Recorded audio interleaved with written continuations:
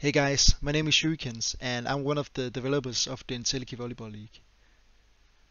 My primary job is uh, to be the script of the league. I'm uh, the one coding the entire thing.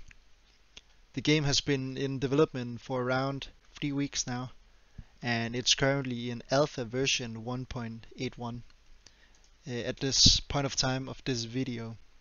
So since the game is still in early alpha, you're probably going to see a lot of changes. So everything I cover in this basics um, series might not apply in the future. But since I've coded the entire thing, I have a lot of knowledge. I have all the knowledge of how the game works. And because of that, I want to share some tips and some tricks and give you guys some insider knowledge about certain stuff that I've wanted to share for a long time but just needed a platform to do so. So this is why I decided to create this short series. I hope you guys enjoy. I hope you guys will find a lot of value in this. And yeah, I'll see you guys in the next video.